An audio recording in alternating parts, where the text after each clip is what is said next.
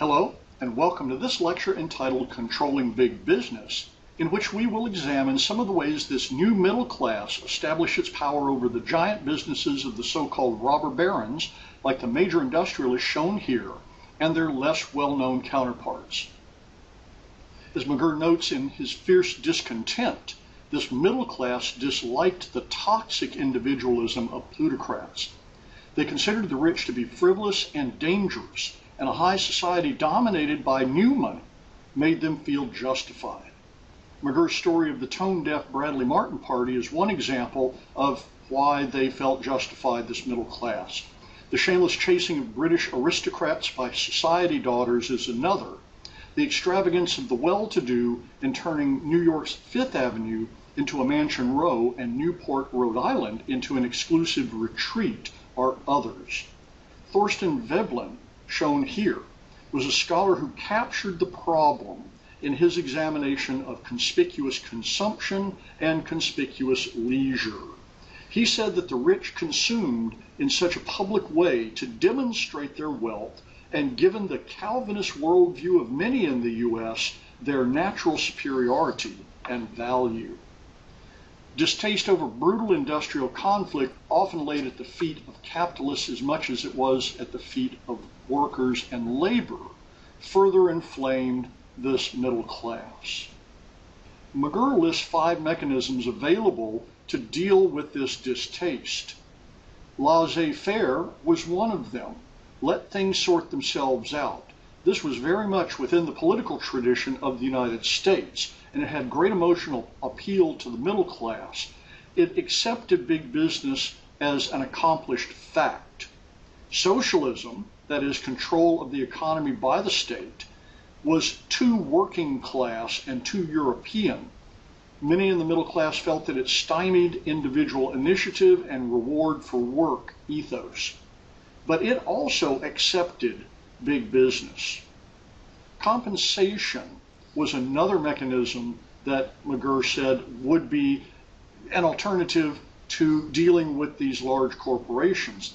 Compensation required businesses to keep wealth in the community from which they acquired it, and the vehicle to accomplish this was taxes. This mechanism accepted the existence of big business as well. Now, there are two others, antitrust and regulation, that we want to look at very much more closely because they're the ones that this middle class, and particularly the government run in large part by this middle class, chose to follow. The first of these is antitrust. Antitrust is a regulation of competition rather than overseeing a particular industry. The middle class liked limits on business bigness. The Sherman Antitrust Act of 1890 is one of the most important acts in this line of antitrust. You see Senator John Sherman of Ohio shown here. He's the brother of William Tecumseh Sherman and a longtime uh, important politician in the Gilded Age United States. One of the most important cases that dealt with this Sherman Antitrust Act and limited its scope was the U.S. versus E.C. Knight Company of 1895. The Supreme Court in Knight separated manufacturing from commerce. We've discussed this before. It weakened antitrust activity by the federal government. Consequently, only 17 cases of antitrust were brought under Harrison, Cleveland, and McKinley, and most of those were against labor unions. Another case is the Northern Securities case that began in 1903 after Theodore Roosevelt created his antitrust division in the Justice Department. That antitrust division sued a company called Northern Securities in 1904. It was a $400 million holding company that had been founded in 1901 as a railway company to stop the fight between the Harriman Railway lines and the Hill Railway lines over the Great Northern Railroad. And it was engineered by Morgan. The decision in Northern Securities overturned Knight and revitalized the Sherman Antitrust Act. The most important of the Sherman Antitrust Act cases is Standard Oil versus the United States that was decided in 1911. The suit began under Theodore Roosevelt, in which Roosevelt's antitrust division in the Justice Department began chasing and finally sued Standard Oil. Standard Oil appealed to the Supreme Court, and the Supreme Court called this case Standard Oil versus the United States. The decision in 1911 broke up Standard Oil into its components. One of the things that this antitrust ideology promoted ultimately, and these cases promoted ultimately, was the idea of the rule of reason. The Sherman Antitrust Act implied that unreasonable restraint of trade was to be done away with, so that when a trust formed and it restrained some trade, that might be okay, but it was not okay if the restraint of trade was unreasonable. This presumed that there were some reasonable trusts and monopolies. And this concept of the rule of reason was affirmed by these three cases that you see here U.S. versus American Tobacco, decided in 1911, U.S. versus United Shoe Manufacturing Company in 1918, and U.S. versus U.S. Steel in 1920. Big itself wasn't bad, just bad practices were bad, is a way of summing up this so called rule of reason. Now, the federal government acted to enforce anti monopoly. In 1914, it created the Federal Trade Commission. There was a five man board to hear complaints about restraint of trade. It had no enforcement power except publicity, and it acted outside of the Department of Justice. Then there was the Clayton Antitrust Act, introduced by Alabama Representative Henry Clayton, shown here, in 1914. This act, which ultimately passed, listed four illegal practices if they created a monopoly price discrimination, tying and exclusive deal contracts, corporate mergers, and interlocking directorates. This was much firmer than the Sherman Antitrust Act and much more specific. It also indicated that labor and farm organizations were not themselves illegal, and so the antitrust acts could not be applied to them unless they met an even higher standard than corporations. Now, McGerr listed a fifth mechanism, and that is regulation. Regulation means the ongoing control of the scale and scope of big business. This created the federal government as a countervailing force against corporate gigantism. Federal laws were passed in the name of protecting Americans' health, welfare, and morals. Let's look at some of the transportation acts that were passed to regulate big business. The Interstate Commerce Act of 1887 created a commission to investigate mergers and, and other things. It was really aimed at railroads. It defined unfair business practices, that rates had to be reasonable and just, that rates had to be published. It outlawed secret rebates and it outlawed price discrimination. The Hepburn Act of 1906 strengthened the Interstate Commerce Commission and provided in law some specificity that was lacking it allowed the ICC to establish maximum rates for rail service. It brought other common carriers under the Interstate Commerce Commission control. In appealing suits, the burden of proof fell to the plaintiff, not the ICC. Some health acts include the Pure Food and Drug Act of 1906. This created the Food and Drug Administration and required inspection of food for human consumption. It disallowed interstate shipment of adulterated food. For example, strawberry jam made from apple scraps, glucose, coal tar dye, and timothy seeds was adulterated and so could not be shipped.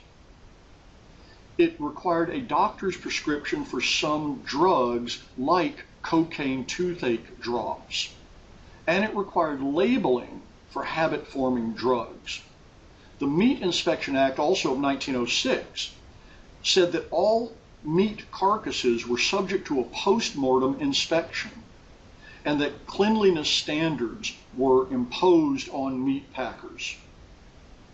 There were also workplace welfare acts. The Federal Employers Liability Act of 1908 allowed railroad employees, which were the only ones under direct government supervision, to sue for injury and death based on a railroad's negligence. This is quite a step forward in protecting workplace welfare. The Adamson Act of 1916, introduced by a representative from Georgia, established the eight hour day in railroad work. This was to avert injury brought on by tired workers, but it was also to help stop a potential 1916 railway strike.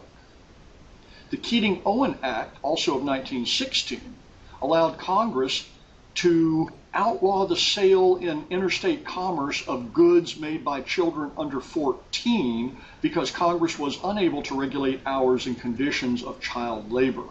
The Supreme Court declared the Keating Owen Act unconstitutional in a case called Hammer versus Dagenhart in 1918. Regulation also included the money supply. Money was based solely on the amount of gold held by the United States Mint, actually Fort Knox. And it was really under the control of bankers like JP Morgan who could manipulate the currency by offering bonds based on it and, and other mechanisms that are a little difficult to understand. But basically, the idea is that big banks could control the currency without any kind of public input. They were constrained and regulated under the Federal Reserve Act of 1913. This act was driven by the public's perception of a need for a central publicly owned bank to take the nation's money supply out of the hands of the private bankers. There were 12 regional banks established under the Federal Reserve Act they had their own boundaries and their own boards and their own member banks. You didn't have to be a member of the Federal Reserve, but it was substantially easier to do interstate banking if you were a member of the Federal Reserve. There was control by a seven member national board. Many of the seats on this board were still in the hands of private bankers. There would be a new single U.S. currency ultimately called the Federal Reserve Note. Member banks set aside reserves of deposits at Federal Reserve banks. That is, a portion of the deposits that they were supposed to have had to actually be set aside and could not be loaned out or invested into the stock market. Quick loans were available to member banks, and that was the real thing that kept these banks as part of the Federal Reserve and keeps them as part of the Federal Reserve now. If a bank has a need for quick cash, like 12 hour cash or 24 hour cash, where do they go? Well, previously they had to go to other bankers and sometimes big bankers who sometimes wanted to buy their banks in exchange for preventing the bank from going bankrupt just because they were short of cash in a 12 hour period. And this allowed a different stream of revenue to go to these banks. And bankers tell us today that this kind of transacting is part of daily business, that banks need a sudden infusion of cash and they just need a way to get some for an extremely short term.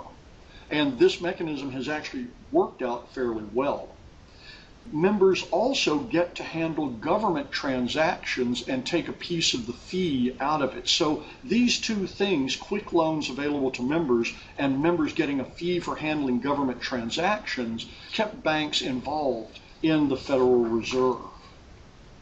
Morality was something else that the progressives wanted to regulate. One of the ways they regulated morality was, of course, through prohibition at the end of the period that we're looking at. But in 1910, these moral progressives of the middle class were able to pass the Mann Act. Muckrakers had stirred up pu- the public with stories of young girls being kidnapped off of streets by foreigners and forced to work as prostitutes. This was called white slavery. The Mann Act prohibited interstate transportation of women for quote unquote immoral purposes. And that's pretty vague. It was enforced most notoriously against Jack Johnson. Johnson was a flamboyant heavyweight boxing champion who was African American. But in reality, his problem was that he ended up marrying three different white women. He was prosecuted in 1912 and convicted in 1913 of violating the Mann Act by transporting the woman who became his second wife, who was accused of being a prostitute, across state lines, even though Johnson's actions occurred prior to the passage of the Mann Act. Let that stew for just a minute. In summary, this progressive middle class between 1890 and 1920 tried to rein in what it considered excessive, extravagant, toxic individualism of the upper class. One of the most important avenues of attack was to use the government as a quote unquote countervailing force to keep the economic engine of the upper class, that is, large corporations, in line. Of the five alternatives available, according to McGerr, antitrust actions and ongoing regulations became the tools of choice. Both accepted the continuation of huge corporations in American society, but distinguished between reasonable and unreasonable business size and activities, what Theodore Roosevelt called good trusts and bad trusts. The federal government also responded to the scandalous stories dredged up by the muckrakers to legislate interstate morality in the name of protecting women from white slavery. The most notorious prosecution under the Mann Act in our period was against heavyweight boxing champion Jack Johnson, a flamboyant African American who drew the ire of the white and black middle class for his reported sexual antics and for marrying white women. Well, this ends the lecture. And as always, thank you for your attention.